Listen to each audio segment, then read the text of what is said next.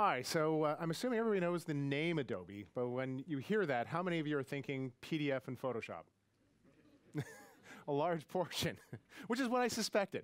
Um, we've had, been in the video business for a long time, but Adobe's always been a software company. So as the file-based transition has occurred and computers have gotten faster, our, our broadcast business has really grown. So um, you just take, for example, over the course of the last 18 months or so, over 100 broadcast entities have chosen Adobe as their backbone. So it's really been a growth area for us.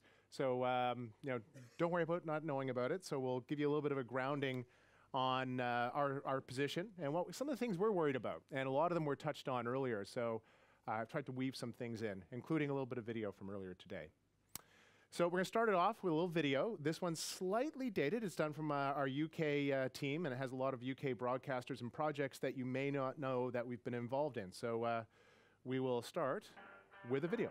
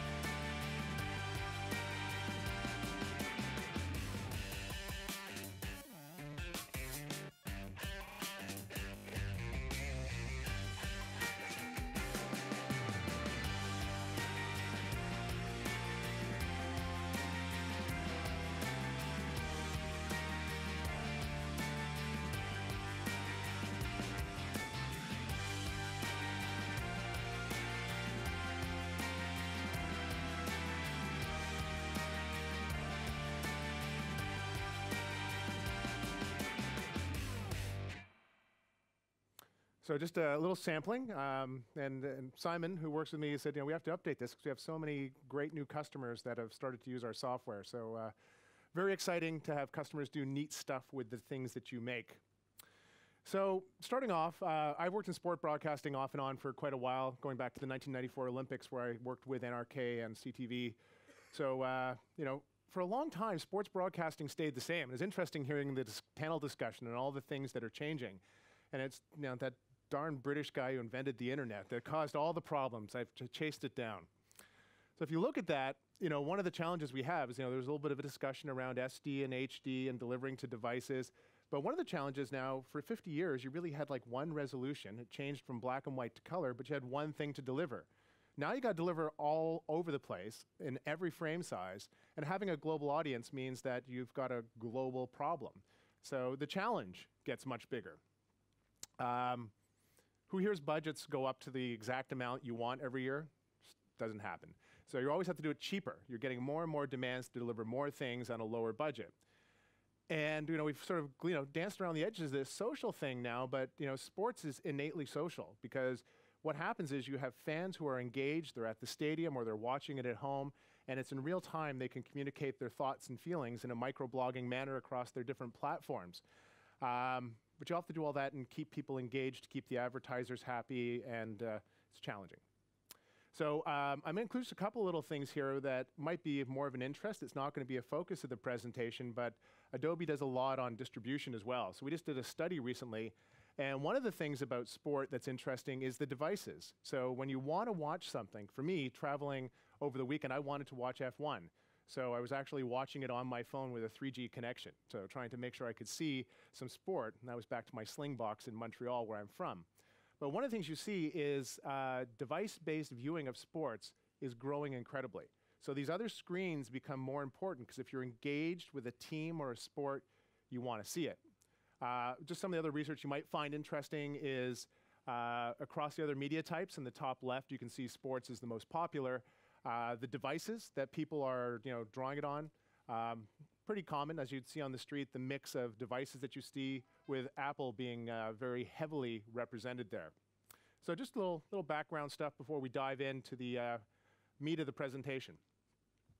So one thing that's changed is the two ends of the spectrum, capture and delivery. So show of hands, who doesn't have a video-capable phone in their pocket today? Nobody. That's an interesting little, uh, little change. And one of the things that we found when we're talking with sports broadcasters, it's also an interest, interesting area of engagement. If you think about everybody who's there at this, this stadium watching the event has a camera. So they can actually tell their story. And there's a lot of stories in just getting to the event and watching the event.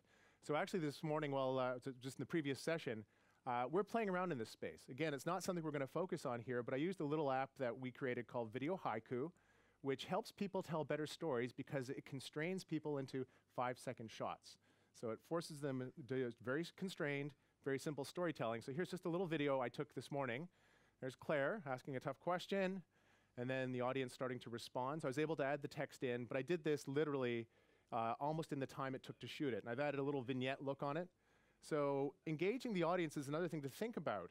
So what you want to do is you want to start thinking about how can my audience be part of this conversation and how can I create more engagement with my brand by allowing my audience to tell their stories as they come into this as well. Um, so that's just a little thing there. The delivery side we know about. We know everybody's watching on every single thing and it's just going to get bigger and more and there's, you know, just while we're talking, 14 new formats and three new resolutions were invented. Um, the thing I find interesting though is those things we can kind of wrap our heads around. What's changed is really, for me, the middle part. So, you know, when I started in sports broadcasting, we thought about analog video moving through bespoke devices. It was a hardware age. You could think about a video stream going through a switcher, and you sort of, it was a time and a place thing. Then that all went digital, and we had digital streams, but it was still moving through devices. And the device may be something like a, uh, a workstation, but it was still about moving stuff around. But now we've got pervasive connectivity. You know, as we look at what ADI has done with all these different locations, we want to remove the position of the media and the time of the media from the equation. So we want everybody to be able to get to everything all the time. And in doing so, you make the network the platform. So one of the things you're going to see this afternoon is we're going to start using a lot more light devices in the content creation process because you can the computing becomes centralized, you make a dependency on the network, and you can completely change the way you build things. So this is kind of a mantra that we're going to rally around as we uh, talk about things today. But that is kind of the change in the ecosystem. More stuff captured than ever before, good. More stuff watched than ever before, good. Everything in the middle changing, a little frustrating, but also extremely exciting, and a lot of new possibilities come up. For those who don't know our products, we work in what we call a plan to playback, and I kind of mapped it to these three areas, allowing me to do that snazzy transition. Um, I'll just quickly walk you through the products. Um, you saw some of the things like Coronation Street and Emmerdale. All their script and all their planning is done in a, a package we have called Adobe Story, which is a hosted script writing package. You're going to see Prelude, which is ingesting the footage that you create, adding metadata, you know, qualitative metadata. Um, we also have uh, all of our creative tools, Premiere Pro for editing, after Effects, the world's most widely used VFX and uh, motion graphics package, Audition for audio, SpeedGrade for color. That'll be more important. I'll explain why in a moment. And then when you deliver, uh, we can encode to whatever you want, whether it's you know DNX for your plate air servers in the Avid world, whether it's MPEG, whether it's H.264, or the emer um, yeah, emerging H.265 standard for 4K HD. So those are our products. They fit into a plan to playback workflow. And as I mentioned, Adobe has two sides to the company, the content creation side, the digital media side, but we also have the marketing side of the company. So just walking through at the top, those are the products laid out in their sort of left to right plan to playback. Uh, we have deep collaboration with Anywhere, but you can also connect any of the Adobe products to the Creative Cloud. Another topic we're not going to touch on today because this group represents more enterprises and they want to control uh, exactly how they collaborate, and they want very deep collaborations. We'll talk about anywhere. We're going to talk about partners, both uh, primarily today in the software world, but we have hardware partners. And on the other side of the fence is our distribution. So Adobe actually has a very large business in distribution. Um, you know, for the 2012 Olympics, as uh, the previous speaker spoke about with YouTube, we worked on the back end, getting all the content ready to get delivered to NBC and BBC but we can do DRM, we can do protection, we can do uh, also if you're deliver delivering over an IP network, we can help you with analytics as well. So again, topics for another day, but we try to think about the entire life cycle of content creation, content delivery, and content monetization. Going forward, the industry has gone through a shift. So in the past, we used to buy all the stuff. If you wanted something to work, you bought it all from one vendor. But we've moved into an IT-centric age, and we're starting to see really modern um, IT uh, APIs start to emerge, you know, service-oriented architectures. So what that allows us to do more than ever is to have best-of-breed products coming together. So we have, uh, you know, over 200 partners that work with Adobe directly, integrating workflow but one of the most exciting things we've done, I think the number's over 40, uh, we have this thing called content panels. Because one of the things you don't want to do if you're focusing on content creation is lose context. The most important thing is the story. You're a slave to the story that you're telling, and you want to be concentrating on that story. You don't want to be alt-tabbing into other things and trying to find rundowns or trying to find, uh, you know, where is that asset and engaging a moving of files.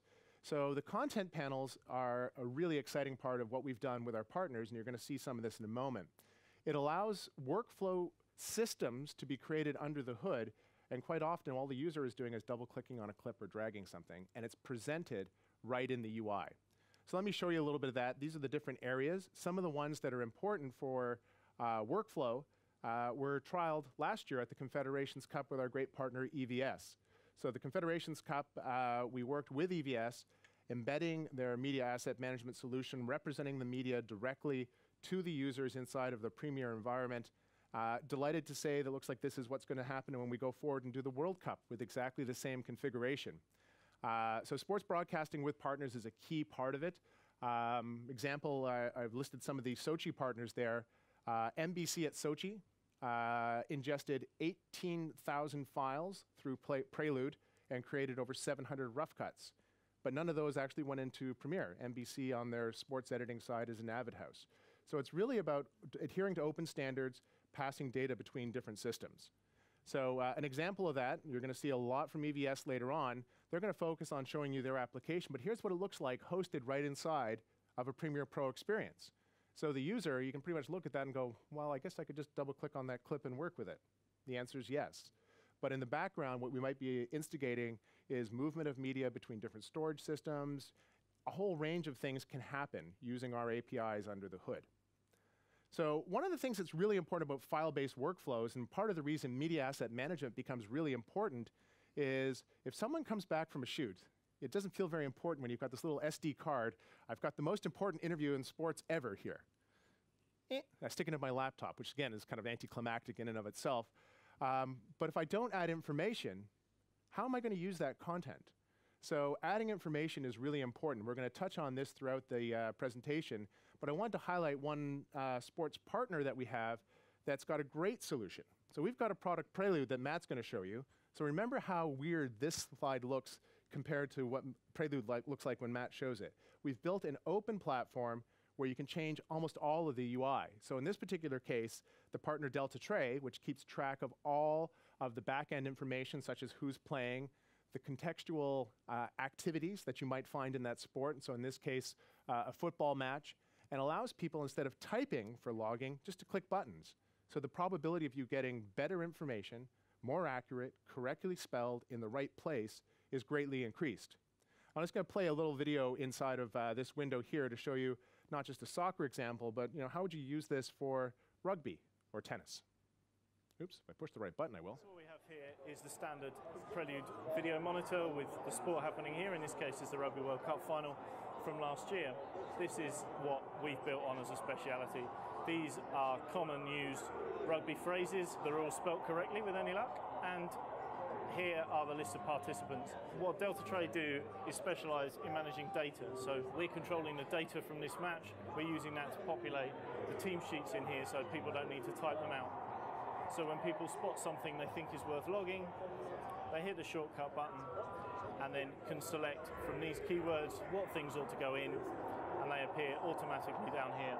So we've got a headline box at the top and we can free text or we can use keywords as well. They both work in that box. And we save things and they appear in the marker list The great thing about this is all of these keywords are done for you, so they'd be transferable for any sport. We've built something called the Sports Designer, so if you didn't happen to have rugby, you had tennis, you click tennis, let's say it was Federer Nadal in the final, and this was tennis, then all of a sudden in here, because we've selected tennis, we have different set of keywords that are good for tennis, and your participants now have gone from two 15-man rugby teams to two tennis singles players. And we will buy him a tripod to help shoot better videos, but. Uh, no, I think this is a really important part in the file-based age because the life cycle value of that content, obviously with sports, the value is most important at the moment when it's all going down. But you never know when you know maybe you're uh, you know not in the Premier League and you know this guy's on the up and coming. You want to go back and find the footage of you know the first goal he scored, his first uh, hat trick in a game, or uh, something that happened earlier on. So adding the metadata as early as possible hugely important and a trend we think is absolutely crucial for media entities to survive and thrive in the modern age. So digging a little bit further. So if you take our products, well, one of the things we want to focus on today is that we touched briefly on the partners. We're going to dig in very deeply on anywhere. And that's the part that makes all of the tools not care where the media is. And that's very important. The other thing we're going to focus on is more and more of the devices. So we're going to actually show how you start to integrate tablets and devices to add more metadata to allow other processes outside of content creation to occur. Because if we think about um, content, there's areas outside of um, just the actual content creation. It's interesting listening about, you know, the rights about if you show a corner flag, you know, you can't do that. So there's a certain amount of, uh, you know, legal approval, standards and practices, even in sport, that you have to adhere to. These people want to be in the mix. We don't want to have, you know, real-time processes that actually have to create media for them to look at. We want them looking at the truth. And that's one of the things we're going to be able to uh, show a little bit later on. Things we're focusing on right now, so I was delighted whoever did the 4K lead in, thank you. Uh, we actually lump that into Ultra HD, so it actually is more than just uh, uh, resolution. I'll talk about that. Um, if you hang around with engineers, you'll often hear them talk about uh, service-oriented architectures. Uh, we think that sounds you know, very techy, but if you tie all these things together, what we really think about is systems that are creating a creative service bus. I don't want to think about where my files are. I don't want to think that they're on file server X in directory Y in this name. I don't want to think about that.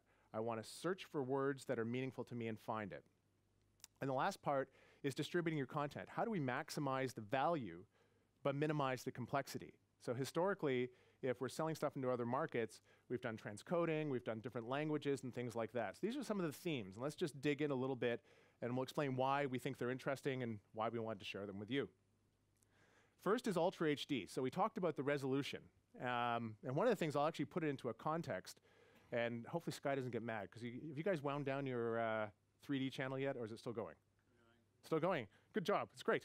Uh, but one of the things, you know, just in terms of talking about it is um, stereoscopic was interesting because it um, presented a new experience for the home but I don't think anybody would say that the home adoption of 3D televisions has uh, met with the same expectations it had three years ago when people started talking about it. Just a show of hands, who has a stereoscopic TV at home? Shockingly high number. All, probably all Sky subscribers. There we go. Um, but one of the things we see with 4K is a price point thing happened. So we watched the Consumer Electronics Show. And the Consumer Electronics Show in January this year uh, Vizio, a TV manufacturer, released a 4K television for less than $1,000, which is a big marker for us. Uh, but I think that's going to be kind of, that's fine. But I think the interesting parts are going to be the higher frame rate. So for sport, high frame rate is good. You actually end up with a much more interesting picture. And for those of you who followed the news out of um, NAB, I'm showing down here extended dynamic range. So for the first time, we can actually deliver more color and light to the TV. Uh, Dolby is one of the innovators in this space, and again, it's all about bandwidth management. But Dolby actually has shown that inside of the type of connectivity you have to the home, you can deliver an extended dynamic range. Um, and one of the best quotes that uh, a colleague of mine made when he saw this whole pipeline in action, your TV becomes a window. So high resolution, high bandwidth, um, high color bandwidth, high, and a larger raster but it imposes a lot of challenges. And I've put up the cube in the corner for the geeks in the room, but just think about the color as being the visible spectrum of light, the smallest triangle being the color space that we work in today, and the larger triangle being the extended dynamic range uh, color space of uh, Ultra HD. So taking the small triangle and mapping it to the big one, pretty easy. It's a subset. But if you start managing and creating content in the larger color space, mapping it down to the small screen, if it's not done effectively, your stuff will look like total crap. And these two worlds will coexist for 15 or 20 years. It's going to take quite a while before we end up with a more simplified workflow. So actually, we're contributing to this space. Uh, Lars Borg, who actually helped Hollywood figure out color with ACES, is actually working on this space. And all the work we do, we will contribute to both SMPTE and the EBU in this space. So from file to fileless. So I have to give uh, Matt, who you'll hear later, coin the phrase fileless. So we don't want people to think about files. Like file-based workflows, it's like, hey, we've got a file-based workflow. Great. Um, but it didn't really change anything. So one of the things we want to start thinking about is how do we think, be content-centric? Because we think about you know, the tools we use, editing, logging, graphics, and devices we may have in our pocket, and we think about all the different tasks that you have to go through to create content, it can be challenging. If you thought about making point-to-point -point connections, there's a lot of arrows, and frankly, we don't have the time to build all of those arrows. It takes a long while to do that. Um, so one of the things that happens is Adobe Anywhere is like a unifying factor. It sits above all of the different products and creates connectivity. And Mike will explain this a little bit more. But at our best, what, what we want to create is this concept of all of these different functions just being pervasively connected to one representation of the media. So regardless of the device you're on, regardless of your bandwidth connectivity, I just want to see the stuff and add my bit. And if my bit's just saying, I'm the lawyer and I say this is good to go to air, maybe that's it. Or maybe I've just spent uh, you know, two weeks editing a half hour documentary on a particular player. I'm just as engaged, but I still want the same things out of the system. So media service-oriented architecture is our shorthand for the creative service bus. The last part, or the last bullet, is you know, moving from distribution-centric to content-centric. So um, if we think about broadcasting, quite often the thing that pops to mind is a transmission tower. Or you start thinking about satellites. You start thinking about things. So that used to be distribution-centric. And quite often, the knowledge to create content sprung up around the transmission tower. So particularly in North America, that's exactly what you found. You know, wherever you had a transmit tower, that's where you had the infrastructure. Today, it's content centric. So if you've got content that the world wants, it's connected. We saw that in the YouTube video. You know, everybody can really get to anything today. But as a content owner, you have to worry about a few things. We have to worry about, you know, changing the raster. You know, so how do you scale things up, scale things down? How do we change the frame rate? Even just the, you know, the 25 to 2997 in North America, and we start adding in the 50 and the 60 and the 120, you know, it's all going to be a lot of work there. Audio is a huge thing, making sure you deliver the right languages. If you want to have a global audience, you have to deliver your content in the languages that they want. But in doing so, there's great revenue opportunities. There's also the more boring things that after I've generated a file, when I want, before I play it to air, I actually want the right stuff in the content package, so I have to check it. And then, you know, depending on the type of content you're distributing, there may be uh, lawyers involved, as there often are, who have to sign off on it. So we've looked at, you know, what's happened today is uh, content owners and broadcasters are having multiple centers of excellence around the world, but uh, what's happened is they started evolving. I sent the file over there, and then they added the Spanish language, uh, you know, dialogue track. And then you ended up with the Spanish thing over there, and the English one's over here, and the Portuguese one's down in Brazil, and they're all over the world, and nobody's got all of the stuff together. So one of the things that's coming out uh, that we're focusing on are content packages. So you may have heard of AS02 or AS11 or DCP. Um, just think of those as baskets. And in that basket, I can not only put my video, but I can put multiple audio tracks, and then I can put a recipe in there that says, if I want Spanish, take this and this and play that out. So for us, you know, we're investing in this space, uh, and, and uh, we'll give you a sneak peek, but in a few days at NAB, we'll announce our support for AS11, uh, particularly using the DPP shim. So that's uh, germane to the UK because that's become the new delivery standard. For Hollywood, we'll also be able to deliver DCPs. I think over time, though, this model is even somewhat antiquated by design. So you'll see this change as well.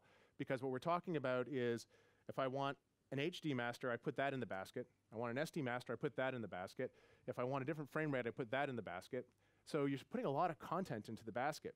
But we start to think about what's happened is compute's become pervasive. I have more compute power sitting here than I could have bought for the price of a house seven years ago. So it's compute's just becoming more and more pervasive. So why don't we put the high resolution one in there and the list of instructions on what to do to it to deliver the other different versions. So this is an area we're focusing on as well. So we don't just want to be about versioning content. So with that, that's into my sort of preamble, all the good stuff. These guys get to do all the exciting stuff. I get to do PowerPoint. They get to do neat things with networks. So it is the platform, and this is really where we're, we're banking on it. We really think that the things that hang out at the end are going to be less and less important over time. So, you know, as we go forward, there's never been a time in our industry where there's been so much concurrent change. There's so many things changing in how we do things. Um, but also, when you start thinking about it, there's never been a time where you've actually had a direct dialogue with your customers. You know, you put something on the air and you can actually see the tweet coming back.